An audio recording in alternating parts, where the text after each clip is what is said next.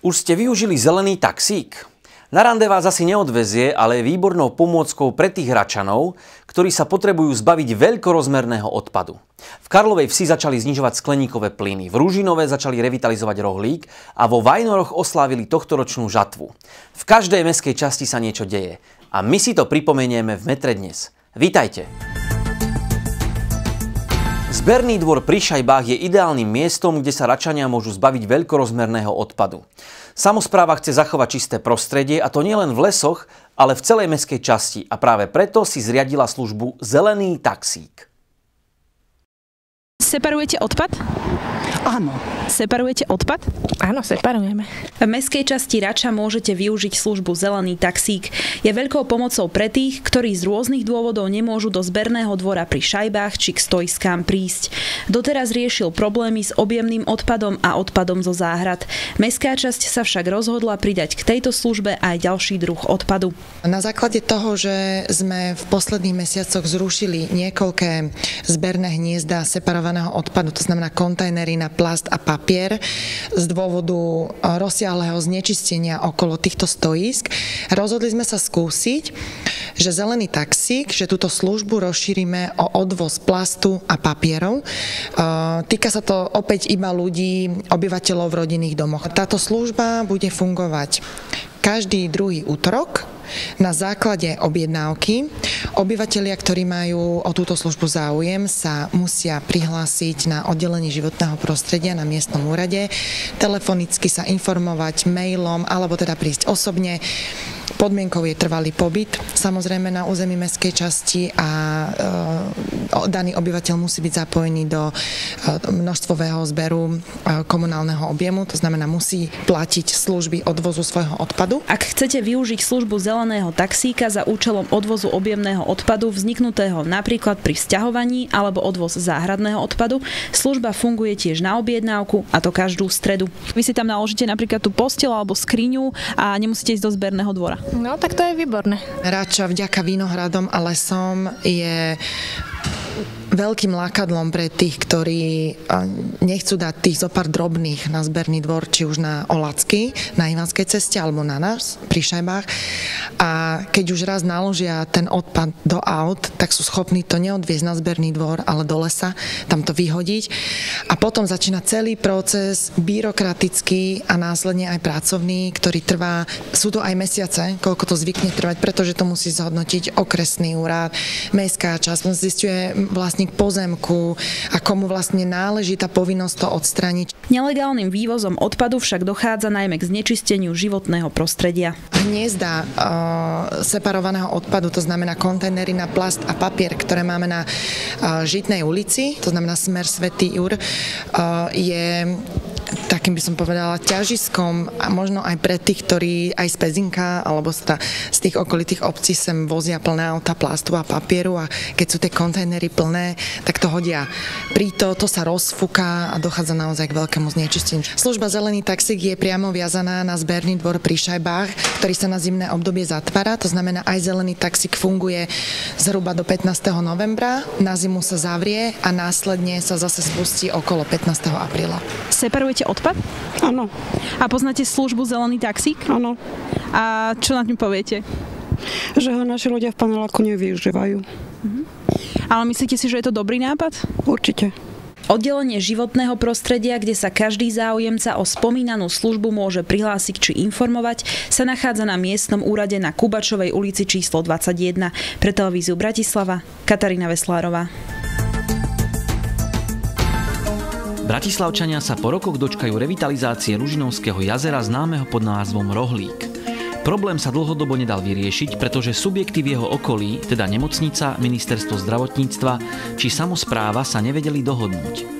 Napokon dostala jazero a jeho okolie do správy mestská časť a môže ho zrevitalizovať. Pôvodný projekt vznikol už v roku 2013. Na základe dohody s Univerzitnou nemocnicou Bratislava a krátkodobého účelového nájmu pozemkov tu vznikne príjemná oddychová zóna. Rohlík je vodná nádrž, v ktorej žije 16 druhov rýb, ale aj raky či korytnačky. Prvoradým cieľom obnovy je, aby sa spríjemnilo prostredie pacientom nedalekej nemocnice. Náhradná autobusová stanica na Bottovej ulici v Bratislave už slúži verejnosti a nahradila doterajšiu stanicu na Mlynských nivách. Na budúci týždeň by mal developer začať s asanáciou starej autobusovej stanice. Náhradná stanica sa nachádza v bývalom centre Botová a má poskytnúť verejnosti vyšší komfort a kvalitnejšie služby. Cestujúci si môžu tak ako doteraz priamo na stanici zakúpiť lístky na autobus, dopravné karty či predplatné cestovné lístky. K dispozícii majú celkovo 6 pokladníc v hlavnej hale. Nechýbajú zariadenia na vyhľadávanie spojov či Wi-Fi. Nová autobusová stanica by mala na Mlynských nivách vyrásť do roku 2020. Karlova väz je prvou samozprávou na Slovensku, ktorá si dala zmerať, koľko skleníkových plynov vypúšťa svojimi aktivitami do vzdušia. Vďaka medzinárodnému projektu Perfect, ktorý sa venuje tvorbe a ochrane zelene, sa Karlova väz zapojila aj do iniciatívy Sledujeme, znižujeme CO2.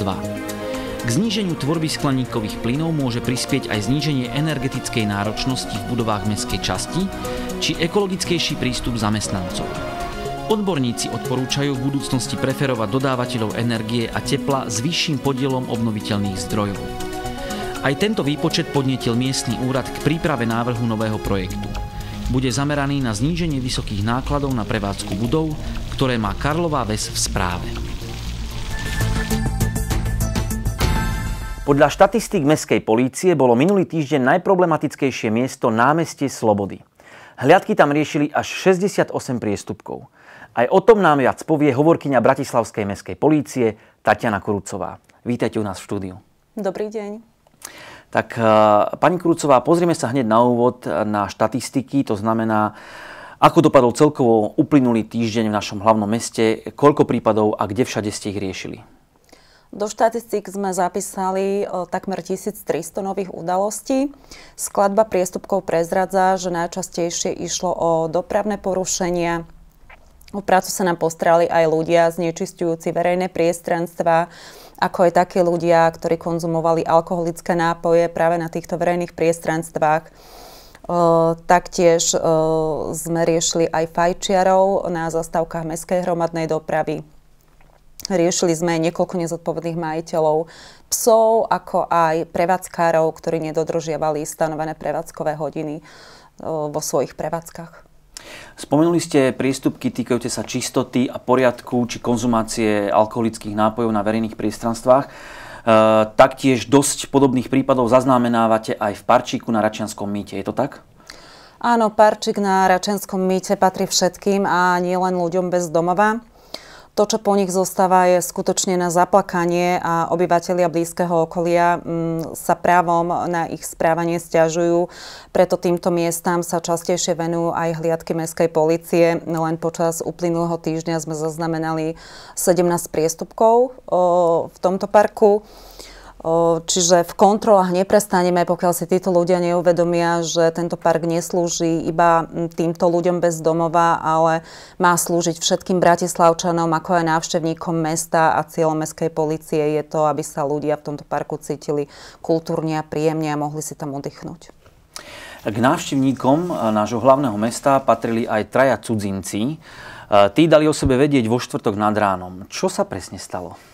Áno, žiaľ, ty si svoju silu vyskúšali e, na sklenenej výplni jednej z kaviarní. E, stačilo skutočne málo a vyčinenie mužov vo veku 19 až 21 rokov e, z Kalifornie, z Austrálie a Rakúska bolo okamžite viditeľné.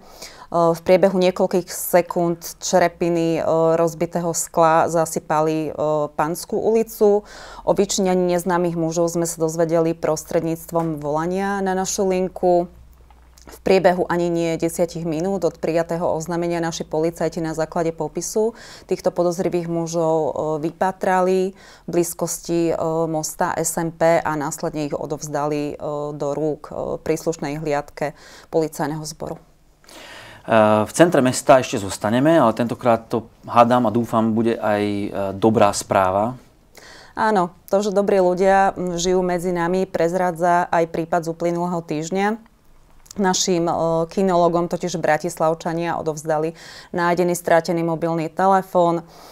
Skutočne majiteľka si mohla uľaviť, keď volala na svoj mobilný telefón a zdvihli jej naši príslušníci mestskej policie, ktorí jej povedali, kde sa momentálne nachádzajú a majiteľka telefónu s úsmevom na tvári si tento telefón od nich následne prevzala. Určite bola veľmi rada, že sa takéto niečo podarilo a ten stratený telefón ste jej dali naspäť. Poďme ale ďalej. V stredu e, ste pre petržalských školákov na Panonskej ulici prichystali zaujímavé podujatie s názvom Sekunda v živote chodca. Čo vlastne taká sekunda znamená? Áno, na ňom odborníci poukázali na nebezpečenstvo, ktoré hrozí chodcom pri náraze s motorovým vozidlom. Žiaci, ako aj ostatní zúčastnení, mali možnosť vidieť praktické ukážky nárazov s poukazom na časové limity, ktoré vodič potrebuje na bezpečné zastavenie vozidla pri určitej rýchlosti v prípadoch, že chodec náhle vkročí do jazdnej dráhy motorovému vozidlu. Málo ktorý chodec totiž e, vie, že pri bežnej chôdzi prejde za sekundu 1,1 metra a za ten istý čas vozidlo pri rýchlosti 50 km za hodinu prejde vzdialenosť 13,8 metra. Pri simulovaných nárazoch pri rýchlosti 20 km za hodinu auto zastavilo vo vzdialenosti 4,2 metra a aj pri takejto rýchlosti obyčajne takéto nárazy končia prechodcov tragicky. Na podujatí sme nezabudli ani na tých najmenších školáčikov. Pre nich sme pripravili mobilné dopravné ihrisko. Na ňom sme školákov učili bezpečnému správaniu sa v cestnej premávke, či už boli ako chodci alebo ako cyklisti. No a počas celého podujatia bola k dispozícii pre všetkých prezentácia našich ekologických vozidiel, čiže elektrovozidiel, vozidlo poháňané stlačeným zemným plynom, elektrokolobežka a elektrický bicykel. Ja vám ďakujem veľmi pekne za informácie. Toto podujatie muselo byť naozaj zaujímavé. Verme, že takéto edukatívne podujatia budú úspešné a všetci sa budeme v cestnej premávke správať zodpovedne. Informovala nás hovorkyňa Mestskej polície Tatiana Kurucová. Lanovka na železnej studienke je bratislavskou raritou. Jedinečná však nie je len preto, že je jediná svojho druhu. V Bratislave už patrí k pamiatkám a medzi nami je od roku 1972. Túto lanovú dráhu poznali už aj naši starí rodičia. Čakala 15 rokov, kým ju v roku 2005 po rekonštrukcii znovu spojaznili.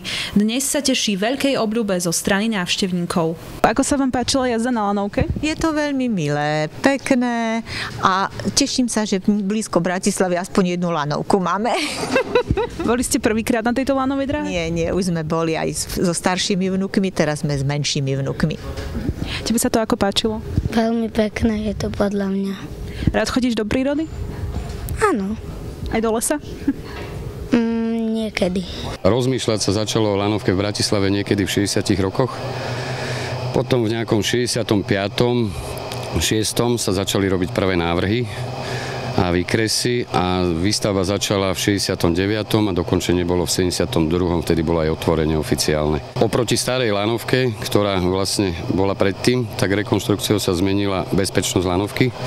Určité systémy, ktoré museli uh, ladiť s predpismi Európskej únie, je oveľa bezpečnejšia a prešla rekonštrukciou jak sedačky, takisto aj motorová časť lanovej dráhy. Aký zisk zaznamenávate v týchto napríklad letných mesiacoch? Ako to tu je s turistami? Chodia často? No, čo sa týka lanovky, sprva keď sa otvorila v roku 2005, tak bola dobrá návštevnosť, ale od roku zhruba 2010. sa tá návštevnosť každým rokom zdvíha. A minulý rok, v roku 2016, sme zaznamenali rekord od vlastne otvorenia lanovky od 72. A kedy vlastne oproti roku 2010 bolo skoro trojnásobok e, turistov a návštevníkov lanovej dráhy. Tak tento rok som ešte na lanovke nebol, ale kedy si som ho našťoval len, neviem, ja som zvyknutý, že som z Bratislavy a lepšie mi je, keď sa sem idem povoziť dvakrát, ako by som musel si kúpiť 5 na 5 jazd a to mi je proste také, že veľakrát a ja to nepotrebujem. Je to taký pamätník podľa mňa tohto kopca, tá lanovka. Ja som rád, že v podstate ide, lebo v minulosti to už toľko turistov nenavštevovalo, ale posledný rok, dva sem chodí aj veľa ľudí s malými deťmi, vyvezú sa, čiže je to taká plná dobrá atrakcia, len ešte stále by to mohlo nakopnúť ten kopec trošku viacej. Lanovka aj v týchto dňoch zaznamenáva veľký počet záujemcov a tak sa rozhodli prevádzkovať ju aj v pondelok. Po ukončení prázdninovej sezóny budú pondelky venované najmä údržbe. Lanová dráha je otvorená celoročne, čiže sezóna je celoročná. A s výnimkou jediného dňa, kedy je uzavretá, tak to je 1. január, Povoziť sa tu môžete dokonca aj na Vianočné sviatky, a to aj na štedrý deň. Mimo prázdnin je lanová dráha otvorená od štvrtka do nedele, vždy od 10. do 18. hodiny. Najvyšší bod lanovky je Kamzik Koliba, ktorý je 420 metrov nad morom. Sú veci, ktoré napríklad nemajú ani moderné lanovky, my máme na celej trati kamerový systém, čiže vidíme ľudí, jak sa správajú a čo robia. Môžeme tým pádom predísť nejakým komplikáciám.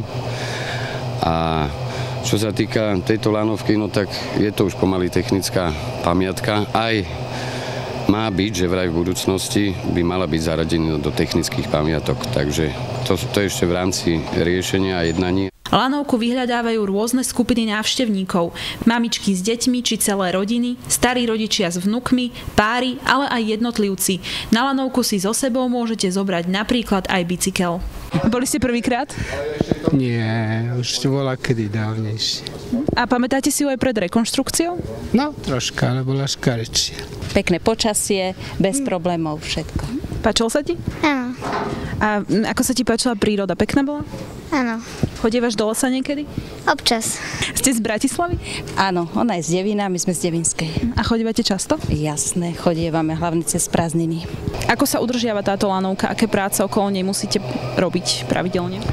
Tak tu je pravidelná údržba, čo sa týka lanovej dráhy, tak je tu na jednak každodenná kontrola pred začatím prevádzky, potom je tu na týždenná kontrola, mesačná kontrola, polročná údržba. Sú tu dvakrát do roka sú tu na revízie, ktoré, kde chodia z úradu dráhového, ktorý priamo prípada pod ministerstvo dopravy. Čiže čo sa týka bezpečnosti a týchto vecí, veľmi prísne sa to kontroluje z toho dôvodu, že na tejto lanovke sa vozia ľudia musí to byť bezpečne zabezpečené tak, aby fakt sa tu na nikomu nič nestalo. Ostro diskutovanou témou je schátraná budova bývalej reštaurácie Snežienka, ktorá sa nachádza v blízkosti Lanovej dráhy. Už v minulosti sme priniesli diskusie či reportáže o budúcnosti Snežienky. Zaujímalo nás, ako sa bude táto téma ďalej vyvíjať. Budova vedľa Lanovky, ktorá mala názov kedysi Snežienka, tak vlastne od toho 2005. kedy sa otvorila, tak je to hamba, bohužiaľ, musím to tak povedať, je to hamba tejto lokality, tohto krásneho lesoparku a od 2005. sa to furt rieši. Teraz viem, že v septembri má byť nejaká komisia zasadnutie, kde aj riaditeľ ekopodniku, ktorý je môj priamy nadriadený a sú tam poslanci a ja veľmi pevne dúfam, že konečne sa s touto snežienkou a s touto budovou niečo bude robiť Niektorí sú za to, aby sa obnovila, niektorí za to, aby sa zbúrala. Neviem, jak dopadnú tieto rozhovory, ale dúfam, že dopadnú kladne pre túto lokalitu a najmä pre Lanovku, lebo ľudia sa na to pýtajú. Ďalšie informácie vám prinesieme po zasadnutiach spomínanej komisie, ktorá sa touto témou bude zaoberať už čoskoro. Pre televíziu Bratislava Katarína Veslárová. Krásne tradície, výborné jedlo, folklór. Tak toto nie je len výsadou dedinského prostredia. Aj v meste si ich môžete užiť, napríklad v takých vajnoroch. Na tamojšie hody prišli ľudia z blízka aj z ďaleka. Ja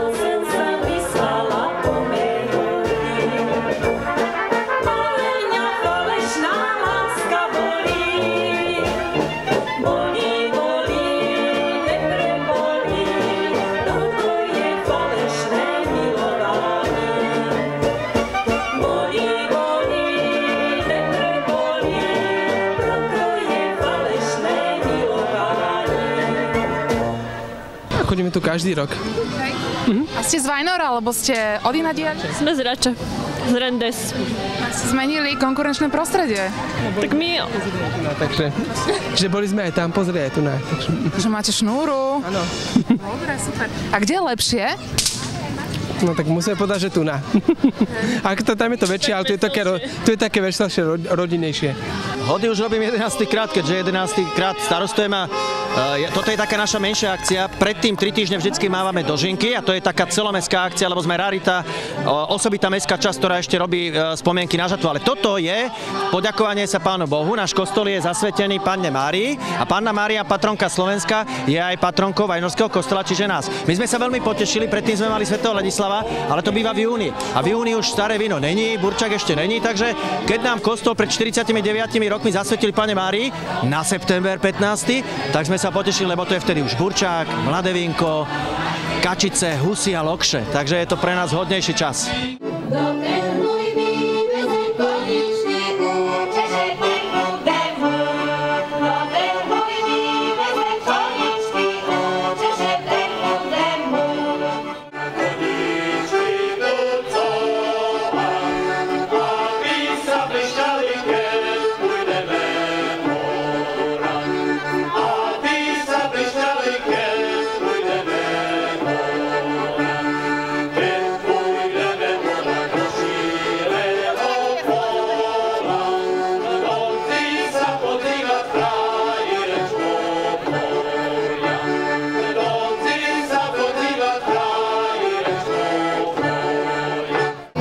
je vo Vajnoroch tak dobre na hodoch, podľa vás? Všade dobre, ale u vás najlepšie. A čo, čo, čo, čo najlepšie? No všetko, čo tu máte, hlavne dobrí ľudia. A čo ste okoštovali z tej gastronomie? Čak. Poviem vám pravdu, že momentálne teraz sú aj vrači, nejaké výroba vody, alebo čo sú to. Ale tam sme nie. Niečo nám je sympatické tu vo Vajnoroch. Aj máme tu známych všelijakých, tak sa už pýtali, že či prídeme a neprídeme a tak, no tak sme to pred, uprednostnili sme to ako, že ideme sa, máme to aj blízky, blízky spoj, no a poznáme tu aj ľudí, takže počasie zatiaľ nám praje, tak nefúka, takže je to v poriadku. No, takže Je to fajn. No. Ja to vidím tak, že tu je tak pokojnejšie, nie je tu taký pretlak ani pressing, že? Viete, čo vám poviem? Tu sa nám to s manželkou zdá také útulné, také malé, také rodinné. Lebo párkrát sme boli aj v Rači, však tam je perfektne to, lenže to je strašne roztiahnuté, veľké a toto je tu nádhera to je také, jak rodiny, keby sme boli, spoznáme sa všetci, takže už, takže tak. Jej strom. Tá trovka sa usmiala, urobila švih. V tom sa buchli do seba, nezranil sa nik. Ideme do opačnej strany. Tu, tu, tu, tu.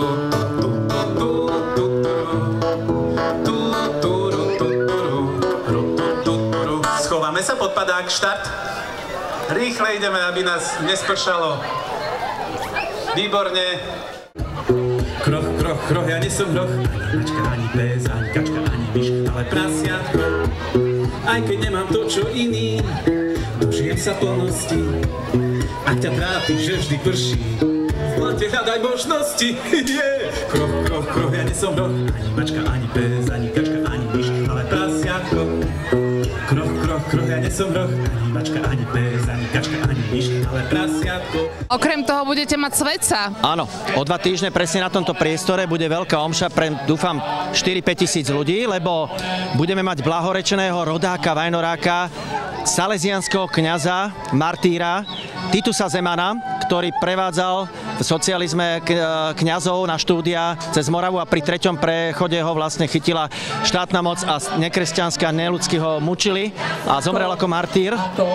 A tu na vo Vajnoroch a my sme na to veľmi hrdí, že budeme mať blahorečeného obyvateľa Bratislavského kraja Vajnoráka, Titusa Zemana. Všetkých pozývam na krásnu sviatočnú omšu. O dva týždne, to bude v nedelu, 1. oktobra o 10.30. A to bude vonku či kostolíku? To bude tu na vonku. To bude prenos robený? Bude priamy prenos pre verejnoprávnu televíziu. Čiže to bude veľkolepá omša tu na. Deň predtým bude v Petržálke, to bude celoslovenská udalosť a toto bude naša regionálna udalosť. Vajnory, Bratislavský kraj a potom po obede budú vlastne relikvie Titusa Blahorečeného uložené v našom kostole na oltár.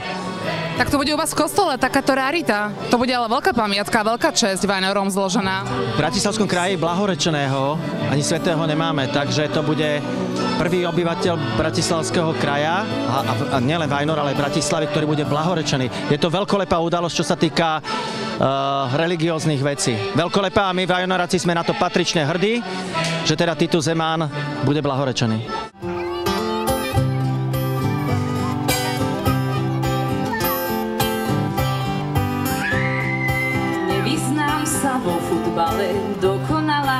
Som.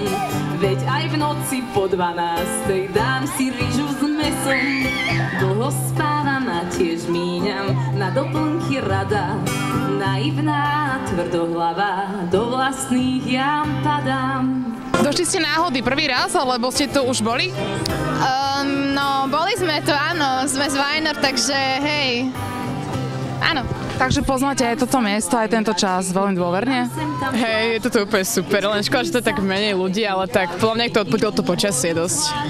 Hej, no a špeciality ako sa menia z roka na rok? Sú to tie isté, alebo čo si dávate tak pravidelne, keď sem chodíte? Uh, ja si dávam väčšinou cigánsku, neviem ako ty, ale asi skôr tie cigánske, možno lokše si dávame a tak.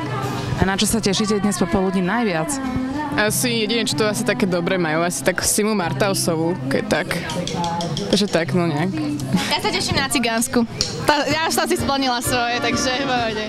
A čo mi najviac imponuje, že s tebou dobre tu je. Netreba čakať, kým istá som, Boh nech je mlinom a ja budem rada vydareným klasom. Bez ozdôb, bez uzlov, bez mašlí, tak veľmi jednoducho sme sa nehľadali a našli. Ďakujem veľmi pekne.